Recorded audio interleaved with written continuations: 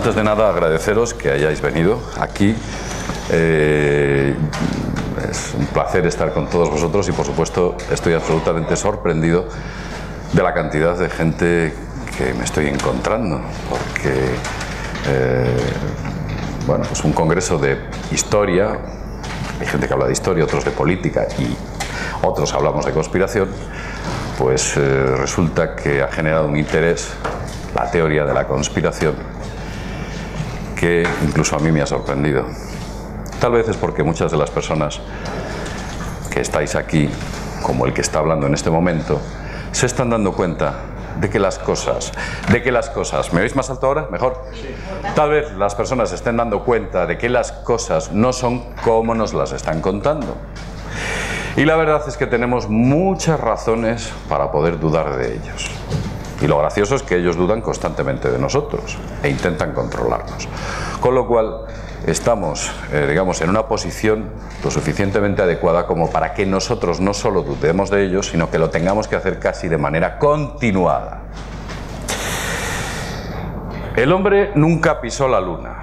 Supongo que por las caras que estoy viendo aquí habrá muchos de vosotros que nacisteis cuando el hombre presuntamente llegó a la Luna, estabais entre nosotros, que ocurrió en 1969.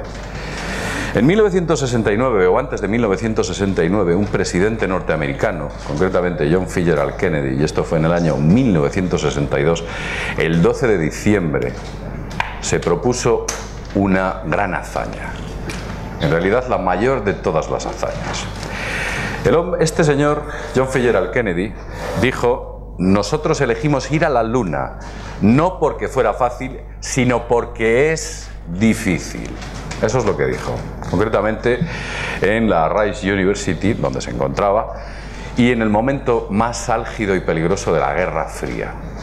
De hecho, entre Nikita Khrushchev, por entonces eh, secretario general de la antigua Unión Soviética, y este señor, pues había una tensión constante. Pero hay una cosa muy interesante y es que Kennedy se propuso una meta, concretamente que antes de que finalizase el año 1900, lo mejor será que lo agarre porque creo que hay problemas de... Antes de que finalizase el año 1969, había que conseguir ese objetivo. Para ellos era importantísimo. Esto que estáis viendo aquí es el famoso Saturno V, ese inmenso cohete con el cual se pretendía llegar a la Luna. Ocurre una cosa muy extraña. Estas son las hazañas de la antigua Unión Soviética, las reflejaba en muchos de sus póster. La verdad es que tenía razones para hacerlo, porque la Unión Soviética estaba dando a los Estados Unidos en todos los frentes. La Unión Soviética eh, consiguió todos todas las metas que nunca pudo soñar que Estados Unidos, hacerlo antes. Por ejemplo, el primer misil balístico intercontinental, los famosos ICBM, fue hecho el 21 de agosto de 1957 por la Unión Soviética. Los norteamericanos lo único que tenían era las V2 que habían capturado los alemanes. El 4 de octubre de 1957 la URSS pone en órbita ya el primer satélite, otro logro. El 3 de noviembre de 1957 la URSS lanza el Sputnik 2 con la perra laica, todos lo sonarán. Otro logro, el primer animal en el espacio. El 14 de septiembre de 1959 el primer cohete y sonda a la Luna. Evidentemente no había ningún nadie, nada vivo, nada vivo dentro de aquel cohete. El 7 de octubre de 1959 consiguen la primera fotografía de la cara oculta de la Luna. El 12 de abril de 1961, Yuri Gagarin, a bordo del famoso Vostok 1, realiza el primer vuelo espacial tripulado. Los norteamericanos estaban que se subían por las paredes. Ya no sabían qué hacer para poder alcanzar los logros que había conseguido esta gente. La verdad es que lo habían dado todo. El 16 de junio de 1963, la, la cosmonauta rusa Valentina Tereskova realiza eh, el primer viaje al espacio. Ellos habían llevado a las mujeres al espacio. El 18 de marzo de 1965 el cosmonauta ruso Alexei Leonov realiza el primer paseo espacial tras viajar en la cápsula Vostok 2. Sale al espacio con un cordón umbilical y aquello era una cosa sin precedentes. Estaba un cohete a baja órbita, no estaba demasiado alto, pero efectivamente lo hace. Y el 1 de marzo de 1966, tres años antes de que Estados Unidos supuestamente llegase a la Luna y consiguiese llevar a seres humanos allí, la URSS consigue alcanzar Venus con la sonda Venera. O sea, los logros de, la antigua Unión Soviética eran alucinantes. Habían, lo habían conseguido absolutamente todo. Evidentemente los norteamericanos estaban muy preocupados, deciden invertir ni más ni menos que 110 mil millones de dólares en un proyecto de nueve años para intentar poner al hombre en la luna. Estaban absolutamente desesperados porque todas las pruebas que tenían por delante se habían quedado por detrás de la antigua Unión Soviética. Pero en el año 1969, misteriosamente, Estados Unidos se pone a la cabeza consigue el mayor de los éxitos jamás vistos o logrados por el ser humano. Y es colocar a tres astronautas, concretamente a dos, en la superficie de la Luna. Esto es muy extraño, porque os he estado relatando todos los éxitos de la antigua Unión Soviética y de repente pues llega a Estados Unidos y se pone por delante en todo.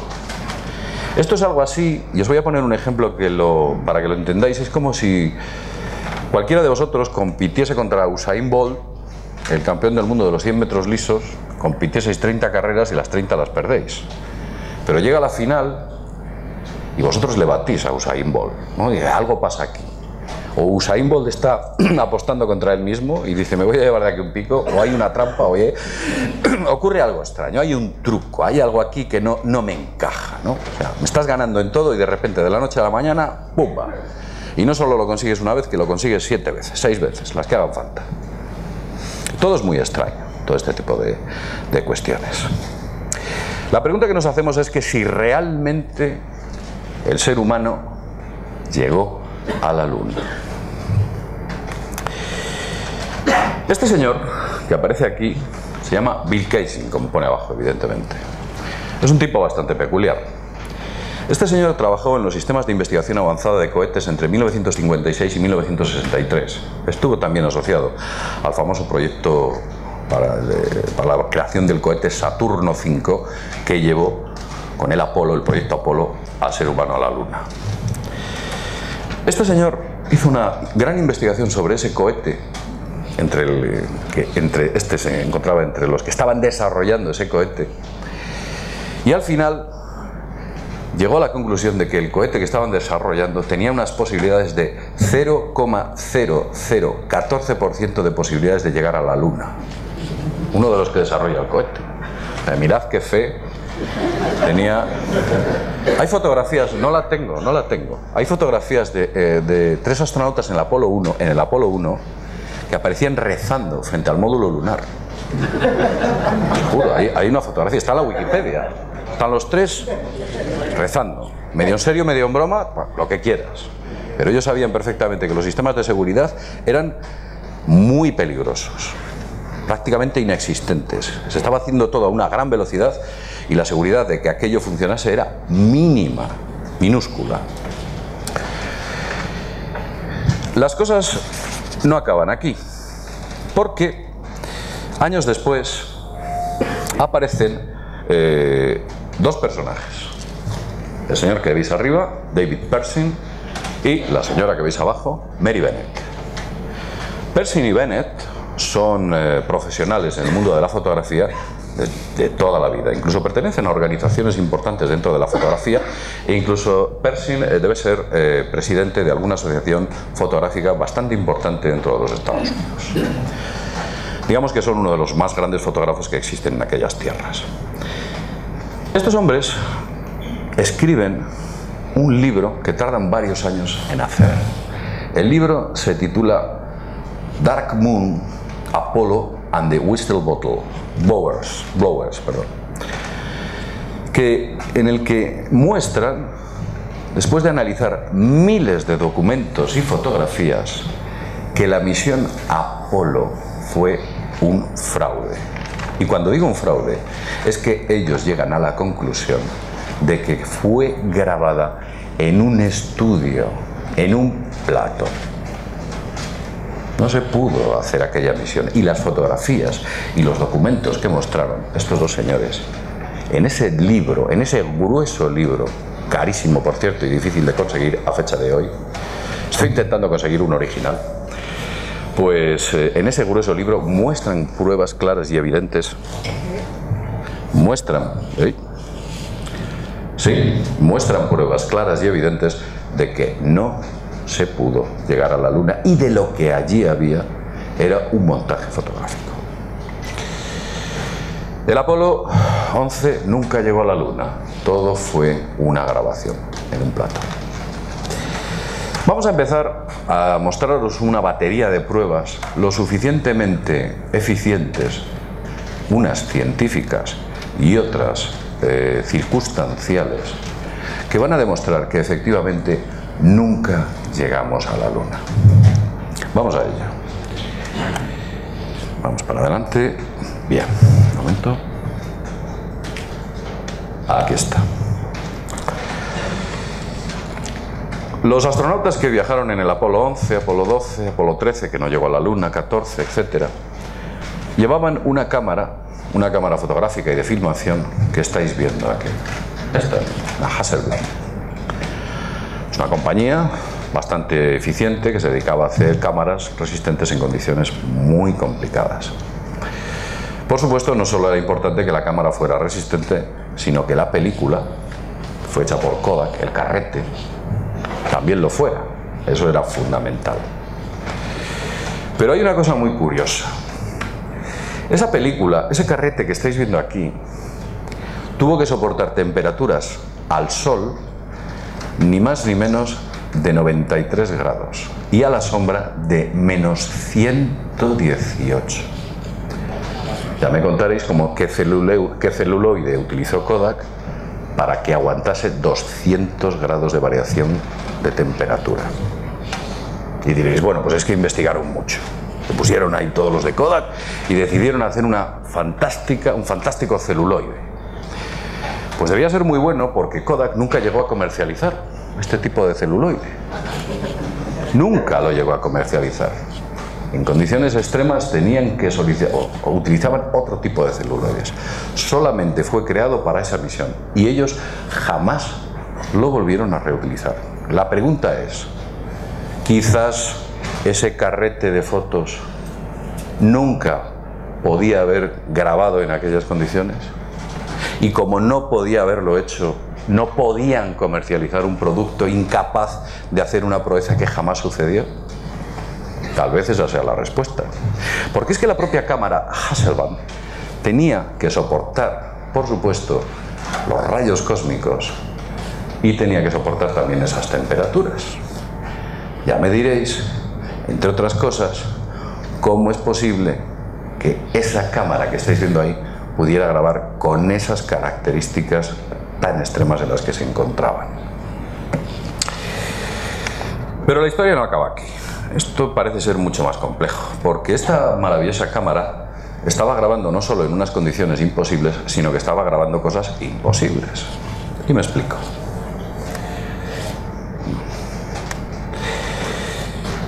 Esa cámara cuando fotografiaba, eh, digamos que colocaba unas crucetas o marcas con las cuales se podía, digamos que, ubicar la referencia de esas fotografías. Lo curioso es que esas crucetas siempre aparecen por delante de la fotografía, porque es importante tenerlas para poder colocar el resto de las fotografías cuando hacen los mosaicos y hacerlo de manera adecuada. Ya me diréis cómo es posible que algunas de las crucetas aparezcan detrás de los objetos. ¿Cómo es posible esto? ¿Cómo es posible que aparezca detrás del rover una cruceta o detrás del astronauta una cruceta? La mitad por delante de, la bandera y la otra mitad pues se puede ver que está por detrás del astronauta. O en este caso lo mismo. Hay más fotografías de este tipo. No contentos con eso, no contentos con eso, eh, resulta que hay algún problema con este micro. Hay otro problema también adicional. Si nosotros vamos a la Luna, estamos en la Tierra o estamos en cualquier sitio y está dando el Sol de pleno, nuestra sombra con respecto a la sombra de cualquier otro objeto es paralela. La sombra del Sol no hace que una vaya en una dirección y otra vaya en otra. Que sean, que sean divergentes o que sean convergentes. Y sin embargo, se puede ver que en algunas de las fotografías las sombras son divergentes. Observadlo aquí. Tanto en esa como en esa. En esa son divergentes y en esta convergentes. ¿Cuándo ocurre esto? Solamente ocurre cuando se está haciendo en el interior de un plató o estudio de grabación, porque los focos están lo suficientemente cerca como para que esas sombras creen una, un ángulo de separación que no puede crear evidentemente el Sol. Pero vamos a continuar. Esto serían pruebas circunstanciales. Supongo que si se las presentamos a la NASA dirían, pues es porque, no sé, que esto no fue así, que fue de otra manera, etc. Cuando los astronautas están a contraluz, no sé si me oís bien o hay, dificultades. Cuando los astronautas están a contraluz, en la Luna, eh, la reflectividad es solo del 7%. La reflectividad es solo del 7%. ¿Qué ocurre? Que siempre que se fotografían las sombras, las sombras son negras como el carbón. Negras, absolutamente. No es como la Tierra, que existe una sombra, una penumbra, hay una especie de zona gris. En la Luna no. Porque la dispersión atmosférica no existe. Sencillamente porque no hay atmósfera. Y lo que ocurre es que en estas fotografías tomadas a contraluz, se puede leer en una de ellas incluso United States. O sea, solo le faltan las luces de neón. Ya me diréis, incluso con nuestras cámaras actuales, incluso con nuestras cámaras actuales, si intentáis tirar una fotografía con ese contraluz, no sale. Y os digo que la cámara Hasselblad no llevaba flash. Estas fotos son tiradas directamente a contraluz. Esa fotografía del astronauta también está a contraluz y se le puede ver perfectamente. Se le ve perfectamente los colores de la bandera. Cuando el astronauta está bajando aquí de la escalinata, en una zona de sombra, se le ve claramente la bandera, los colores del traje, etc.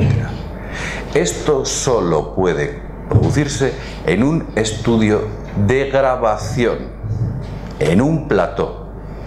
No puede producirse en condiciones normales en la Luna. Pero vamos a continuar, porque la historia no acaba aquí. Hay otro dato también importante. Si tú tienes un hermano, un amigo, un compañero o lo que sea que es igual de alto que tú y te pones al sol en una posición o en una superficie plana, las sombras serán de la misma longitud. Pues ya me explicaréis cómo es posible que existan fotografías en las cuales la sombra de un astronauta es mucho más larga que la del otro astronauta. Solo se puede producir ese efecto cuando se está grabando en un plato de cine. No se puede producir de otra manera. Pero la historia no acaba aquí. La famosa cámara, esta maravillosa cámara imposible que hacía cosas imposibles, tenía que cambiar el objetivo, porque las fotografías las hacían a distintas distancias, utilizando estos pedazos de guantorros. Y es que es la palabra, son los guantorros. Vamos, con esto pues no sé, poco más o menos que coger una llave inglesa y poco más. Pues imaginaos que ellos tenían que cambiar, ellos, ellos tenían que cambiar el objetivo, poner otro, regularlo con esos guantes, que parecen sacados de una central térmica. Pues lo hacían, ya me diréis cómo. Vamos un poquito más allá. Os voy a mostrar otra fotografía. Esta fotografía es peculiar. ¿Por qué parece que los astronautas cuando estaban en la Luna iban a cámara lenta? ¿No os acordáis que se movían en cámara lenta, despacio, daban saltitos y parecía que levitaban? Iban como a cámara lenta, ¿no? Les dijeron, no corráis, no corráis, que hay tiempo. Les decían eso. Vosotros tranquilos, no os pongáis nerviosos. Pues no, no era por eso. Era por otra cosa que se descubrió posteriormente y que forma parte del gran fraude que fue el viaje o el presunto viaje del hombre a la luna. Luego os lo voy a explicar por qué se movían así, tan despacito.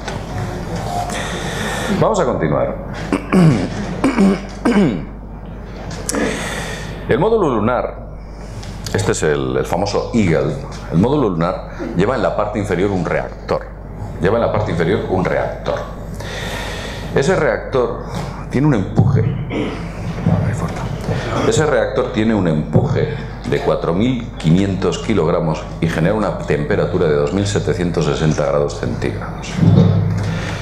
Os diré que, por ejemplo, en el monte Etna, es que no hay forma con esto. Espera un momento, voy a intentar quitarme esto.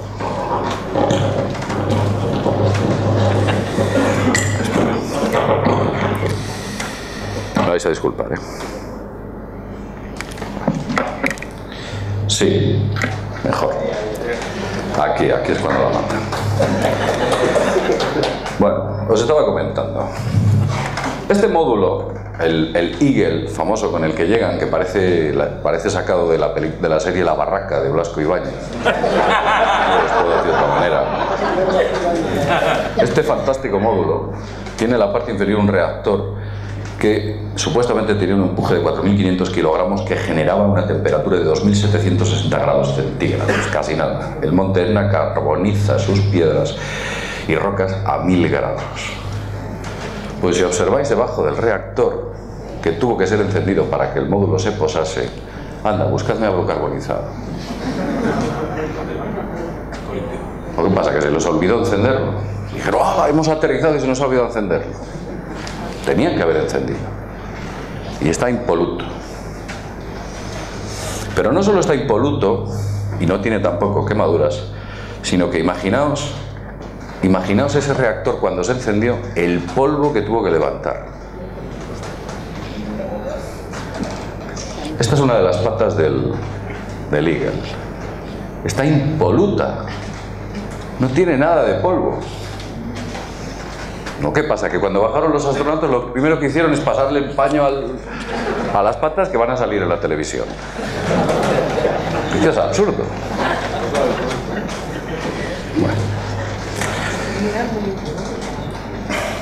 Como veis están limpias, hay más fotografías, no penséis que he cogido la limpia, que están todas igual.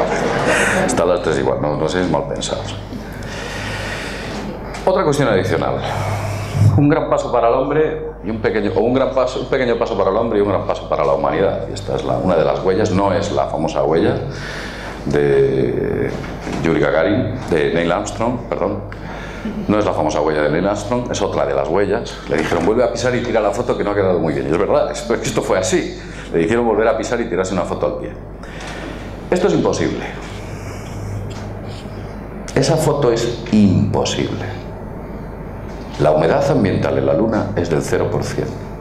Solamente se pueden dejar huellas en un terreno polvoriento cuando existe humedad, donde se compacta la forma de las huellas de los zapatos. Como vosotros habéis ido por una playa seca y cuando pisáis dejáis un agujero. Y cuando vais por esa playa y os acercáis a la zona húmeda, dejáis la huella nítida. ¿No es cierto? ¿Qué diferencia hay? La humedad compacta si en la Luna no hay humedad, ya me diréis cómo demonios se compacta.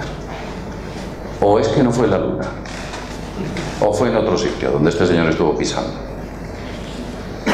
Pues esta fotografía es imposible por eso. Esta y otras, por supuesto, porque no solo dejó fotografías, los astros, o sea, huellas los astronautas, sino que el famoso rover, este es el rover, que les hicieron una especie de car para moverse por la Luna, este es el rover que podemos ver aquí y que también dejaba huellas. ¿Le veis aquí una huella?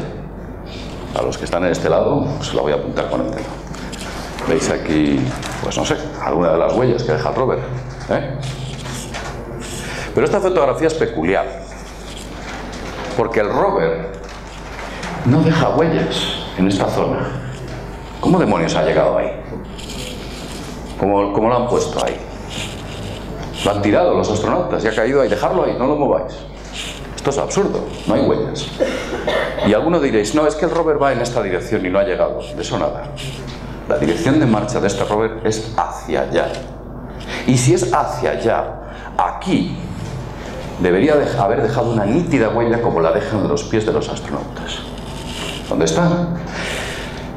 Ustedes pueden decir que esta es una fotografía casual, pero es que como estas me he encontrado más de 20, en el cual parece que este rover lo han dejado literalmente con una grúa apoyado en la superficie de este escenario. Lo del rover es mucho más gracioso, porque es que este, este aparato da mucho juego. Hay escenas de los astronautas grabándose cuando van en el rover. El rover da unos botes tremendos, unos botes espantosos, que casi los tiran. Esta antena parabólica que lleva tiene que apuntar con una enorme precisión a la Tierra. ¿Habéis visto vosotros, os acordáis de canal satélite digital, vía digital, y como hiciese viento se iba la señal porque se movía un poquito vuestra antena? No sé si os acordáis. Pues esta antena bailaba constantemente. Y la emisión era fantástica. Año 1969. En el siglo XXI nuestras antenas son malísimas porque cuando hay un poquito de aire se va la señal. Pero esta antena es fantástica. También la han debido patentar y han dicho guardarla en un cajón y no la saquéis. Pero vamos a continuar. Vamos a continuar porque existen muchas cosas y estamos mostrando pruebas circunstanciales. Estas fotografías son de tres distintas misiones. Pasa que todos aterrizan en el mismo sitio. Pues las colinas son las mismas. Que se equivocan y dicen, no, otra vez aquí. No, bueno, fíjate que el sitio es en la luna y nos vamos a poner en el mismo lado todos. Estos son los mismos escenarios. Te han pasado un rastrillo a aquel para que quede más No lo sé, es el mismo escenario. Es lo mismo. Es exactamente lo mismo. Vamos con otra. Esta fotografía. Muy bonita, se ve la Tierra de fondo, con sus nubecitas. Se ve la superficie lunar. Pero ¿dónde están las estrellas? A ver si no las han puesto. Han dicho, vaya, hemos tirado la foto cuando han recogido las estrellas. O sea, es que es una cosa como de risa. La cámara fotográfica tenía la suficiente eh, capacidad de haber recogido estrellas o planetas. Y sin embargo, en ninguna fotografía que NASA muestra aparece ninguna estrella. ¿Por qué? Porque cualquier astrónomo hubiera sabido la hora y el momento en el cual esas fotografías se hubieran efectuado y era muy difícil simular dentro de un plató el movimiento ecuatorial de las estrellas. Y dijeron, las borramos. ¿Sabéis cómo funciona esto? Tenemos un problema, no te preocupes, se borra y ya está. Y si preguntan, pues ya se nos ocurrirá. Funciona así. Vamos a continuar.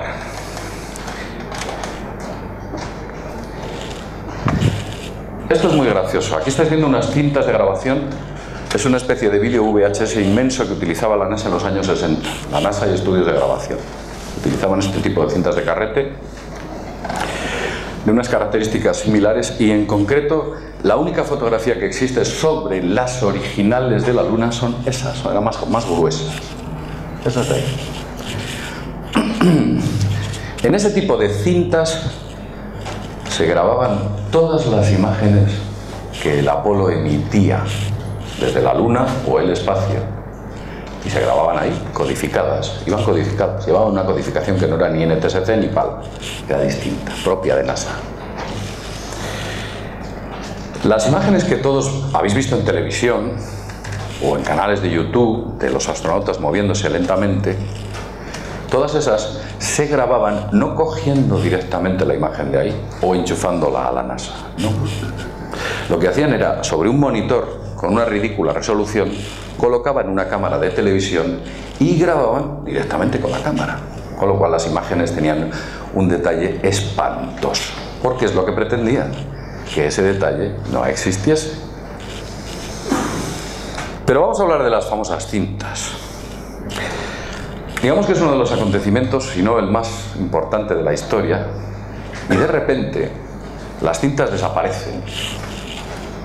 Pero no unas pocas, es que había cientos. ¿eh? Las cintas desaparecen.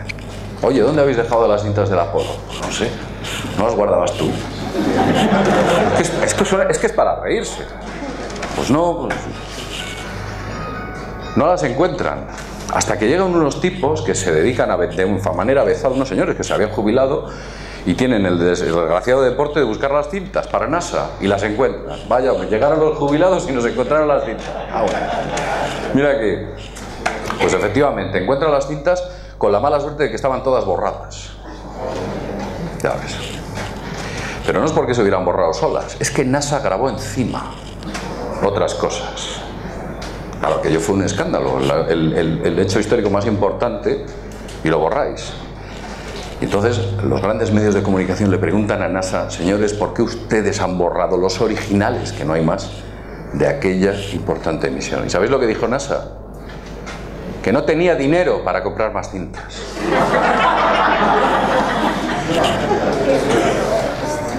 Es que, pues casualmente se nos acabó el dinero y tuvimos que utilizar las otras. Vamos, por favor. Podrán decir muchas cosas. Que ha habido un día de calor y las ha borrado. No lo sé. O que alguien ha pasado con un imán y las han borrado todas.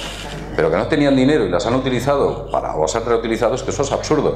Y además se cargaron las de todas las misiones Apolo, las misiones mm, Mercury y las misiones Géminis. Se cargaron todo. ¿Por qué alguien haría eso? ¿Por qué el disco duro del Partido Popular fue formateado 35 veces, rayado con una lija, desmontado y destruido con un martillo? os lo juro, ¿eh? Esto son palabras dichas en el juicio por parte del ingeniero, el técnico informático, y él dijo, no, no, perdón, yo es que recibí órdenes que lo destruyese. Pero es que formatearle 35 veces, rayarlo, desmontarlo, golpearle con un martillo, decía que le pegó con un martillo, y luego tirarlo, no, chico. Es que eso es una ceremonia satánica con un disco duro. Pues esto es lo mismo. Estos también. No sabemos cuántas veces lo formatearon, pero dijeron que no quede ni rastro. Y efectivamente así lo hicieron. Vamos a continuar. Esto lo hicieron en los años 80, cuando, cuando borraron las cintas. Vamos a hablar de... No, he anticipado, vamos a seguir con, este tema. Vamos a hablar de un señor que se llamaba Bill Wood. Bill Wood, un científico altamente cualificado que trabajaba para la NASA, tenía un montón de títulos, tenía la habitación enmarcada de títulos, este señor era un auténtico fiera. Matemático, físico, químico, ingeniero en cohetería espacial, ingeniero en propulsión de sistemas, ingeniero en todo, y le ponen, y le ponen como encargado de control de las comunicaciones. Se acogen a uno de los más preparados y le dicen, tú eres el que tienes que grabar con él. Con él. Y este hombre pues no le importó y se puso a hacerlo. Pero el señor Bill se da cuenta de una cosa muy curiosa. Dice, anda, que ya es raro que estemos grabando las imágenes a 60 fotogramas por segundo y se estén emitiendo a 30 a la mitad de velocidad. ¿Qué ocurre? Que usted ve a los astronautas ir muy despacito, muy despacito, hablar muy despacito, todo muy, todo muy despacito, lo hacía muy despacito. Todo lo hacía muy despacito. No es porque la luna fueran muy torpes y anduvieran muy despacito. Oye, no os cae, no os cae. No, es porque lo estaban grabando a una velocidad y se estaba emitiendo a otra.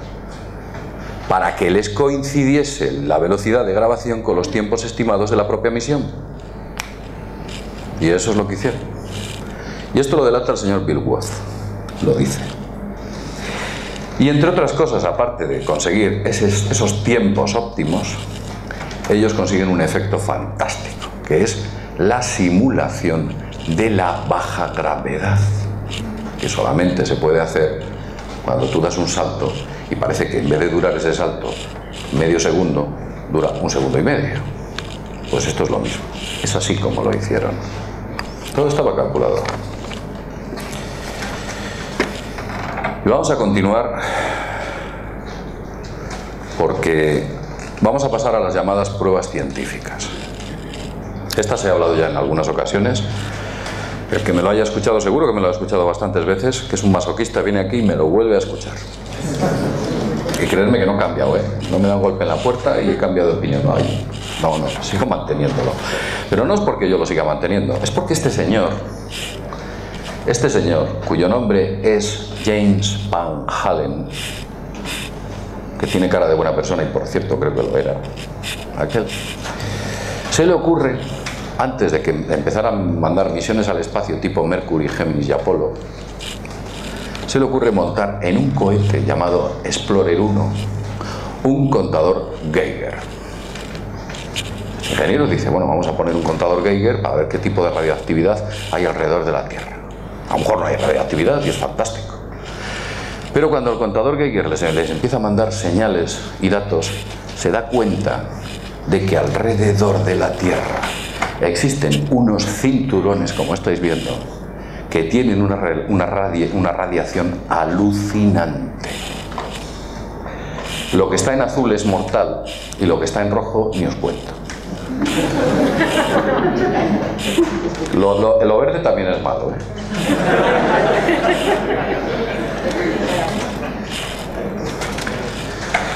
Bueno, se me ha olvidado, mira, pero bueno, lo tengo en un link en Mundo Desconocido. Este señor publica, publica un, informe y la revista Science Fic American le publica el artículo con el informe. Con el informe en el cual demuestra que nada biológicamente vivo puede atravesar esos cinturones. Lo freiría literalmente. Lo mataría. Sería como que te metieras en un reactor nuclear abierto o te acercaras a un reactor nuclear abierto en la zona roja. Es imposible. Te frío literalmente. Las bandas eh, están a unos 1500, 1600 kilómetros de altitud, comienzan a unos 1600 kilómetros de altitud aproximadamente. La Estación Espacial Internacional, la que nosotros vemos y estas grabaciones tan fantásticas que nos está mostrando, está aproximadamente a unos 400 kilómetros de altura, con lo cual nos damos cuenta que está a 1200 kilómetros del comienzo de estas bandas. A 1200 kilómetros está, del comienzo de estas. Os lo voy a poner aquí para los de este lado. Está muy lejos. La ISS está muy cerca de la Tierra, estaría por aquí que no se acerca aquí ni, ni, de coña, con perdón. No se acerca y aquí ni te cuento. Bueno, en el año 1997, cuando el transbordador espacial, concretamente el Atlantis, decide batir un récord de altitud para colocar un satélite en alta órbita, se sitúa a 611 kilómetros comienzo, del comienzo de las bandas menos peligrosas. Y los astronautas de aquella misión se empiezan a sentir mal. Tienen náuseas, mareos. Ellos decían que cuando cerraban los ojos veían como estrellas, que les, como, como chispas que cruzaban. Con los ojos cerrados veían como chispas. La radiación, estando a 600 kilómetros del comienzo de las bandas, ya les estaba afectando.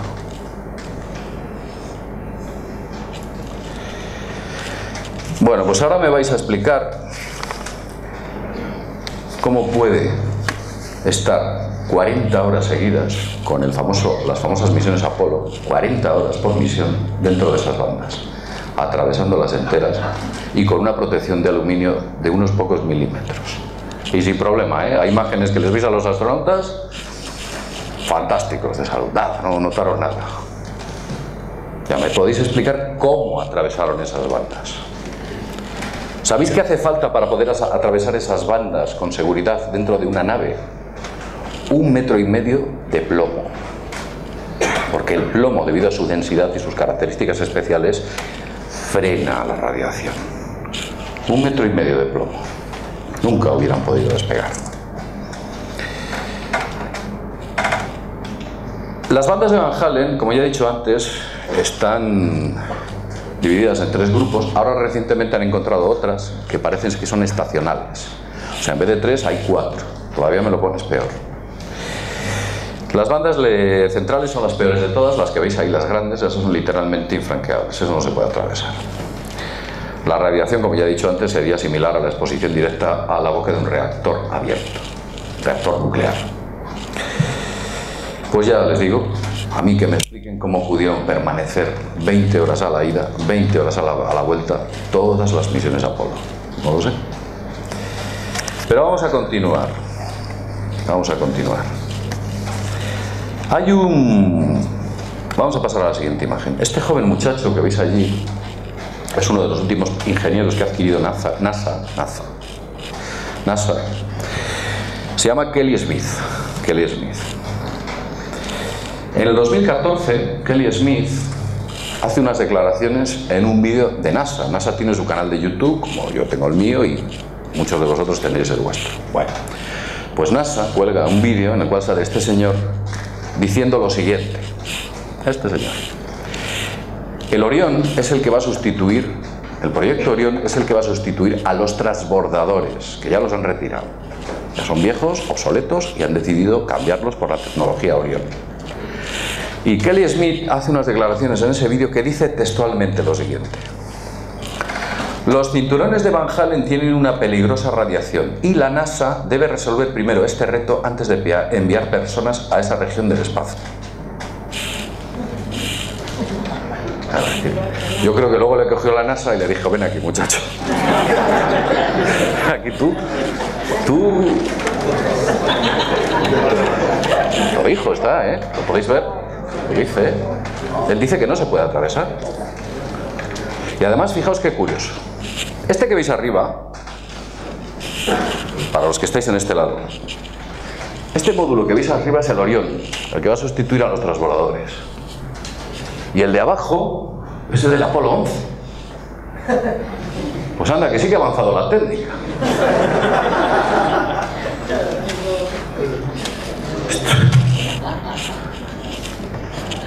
Yo, perdona, la primera vez que vi el módulo, yo cuando hablaron del proyecto Orión, no, no había imágenes sobre ello, diría, wow, están preparando una nave impresionante. Y cuando veo que están utilizando la misma tecnología que utilizaban los Apolo, yo pero chico, pues anda, que sí que han avanzado. Vamos a continuar. Perdona si hago mucha demagogia, es que me puede. Es que me puede, no, no lo puedo evitar. Bueno, pues eso dice eso dice el proyecto Orion. Concretamente, el profesor Van Halen, en aquel artículo que se publica en la Science, en Science of American, dice lo siguiente: Nuestras mediciones muestran que el nivel de radiación máximo es de 10 y 100 Röntgen. Los REM, los famosos REM. Es una medición de, de radiación por hora. Un ser humano expuesto durante dos días incluso a 10 REM, o sea, una décima parte de lo que estuvieron expuestos, solo tendría un 50% de posibilidades de sobrevivir. Los cinturones de radiación evidentemente presentan un obstáculo para el vuelo espacial más allá de la órbita terrestre. Esto se dice antes de que se envíen las misiones Apolo, por el que descubre todo aquello. Con lo cual eran sabedores de que no se pueden cruzar. Yo no sé cómo vamos de tiempo. Bueno.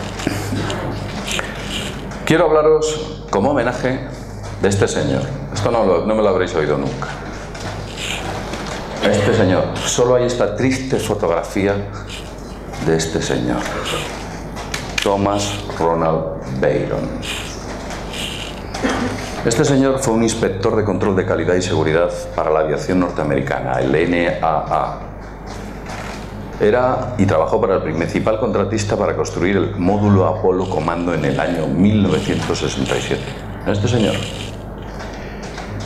Este hombre, cuando revisa las normativas de seguridad y ve aquel módulo, la casa, la cabaña esta de...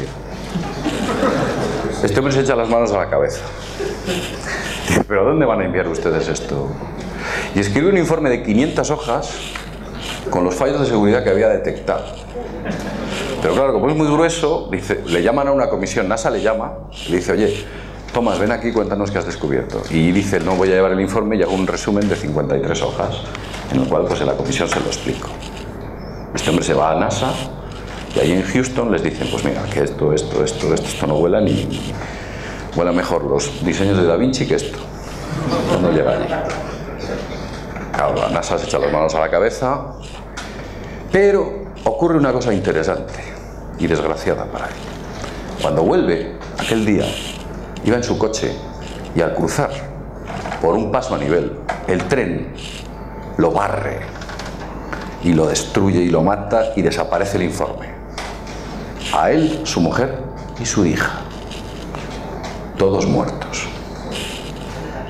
El informe de 500 hojas jamás ve la luz. Y del de 53 hojas, yo estoy por verlo. Existe, ¿eh? Pero nadie sabe dónde anda. Thomas Ronald Bayron.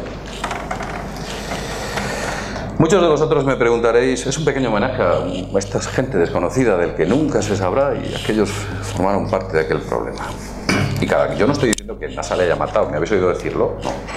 Pero bueno, que cada uno... No lo he dicho. ¿Cómo voy a decir eso? Es absurdo, ¿no? Este señor pues, se pone a cruzar el... Era inspector de seguridad y se pone a cruzar un paso a nivel. Es que eres bombero y te pones a echarte gasolina encima, ¿no? Pues no. Pues este señor hizo eso. Stanley Kubrick dicen que fue la única persona capaz de producir y dirigir, así como filmar, la llegada del hombre a la luna. El caso es que hay vídeos muy antiguos de Stanley Kubrick en el cual Stanley Kubrick, medio en serio, medio en broma, dice, oh, sí, sí, fui yo. Y en otros en los cuales dice, no, no, no fui yo. Pero hay un dato, un dato curioso. Stanley Kubrick era piloto y viajaba en su avión entre Estados Unidos e Inglaterra habitualmente. Él cogía su avión y viajaba. Pero a raíz de que el hombre llega a la luna, ya no vuelve a coger su avión y decide hacer el viaje a Estados Unidos-Inglaterra en barco, siempre. Ya lo sabría, ¿no? O es que de repente dice, joder, he cogido una fobia a, volar, ya, no vuelvo a coger un avión, me voy en barco. Y no me pongo a remar de milagro. Es que es absurdo, por algo lo haría, causa-efecto. O todas estas cosas que hemos estado contando forman parte de la imaginación. Yo creo que no. Vemos pruebas de un tipo, pruebas de otro, de todo tipo, en el que parece demostrar, y cada vez que salen pruebas nuevas, este es Stanley Kubrick, y cada vez que salen eh, pruebas nuevas, apuntalan más la idea de que no llegamos a la Luna. No tengo la foto, pero es que los chinos han llegado hace dos años con la Chang E3, y cuando ellos fotografían la Luna, la Luna es de color pardo y marrón, pero cuando veis las fotos del Apolo, la Luna parece que la han hecho con yeso. A ver si se equivocaron los chinos y dijeron, en vez de la luna lo hemos enviado a otro sitio. Mira, hombre. No, exacto, a Cuenca. Lo hemos enviado allí y no nos hemos dado cuenta. Es absurdo, es que es absurdo. Que además es que se da la circunstancia que la Chang'e aterriza en una zona muy cercana a una de las misiones Apolo. ¿O qué pasa? Que cambió la luna de color de los años 60 al 2013. No tiene sentido. De alguna manera trato de decir que nada es lo que parece, que muchas de las grandes mentiras que nos han contado son asimiladas por las sociedades, sencillamente por el origen o la fuente que nos las cuenta. Cuanto más importante es aquella persona o organización que te cuenta una mentira, más cala dentro de ti y más difícil es desmontarla. Al final me voy a la famosa frase de Mark Twain que dice que es mucho más fácil que a usted le engañen que convencerle a usted de que lo han engañado. Y la verdad es que a nadie nos gusta que nos digan, no, perdona, estás equivocado. A nadie nos gusta, incluido en el lote. Pero estas cosas son así. Quizás no solo nada es lo que parezca, sino que si esto es así, haya muchas más cosas en la investigación del espacio que no sean ni de cerca lo que realmente existe.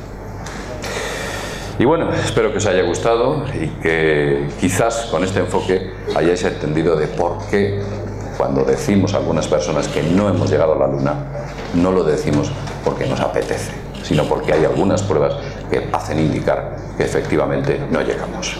Muchas gracias.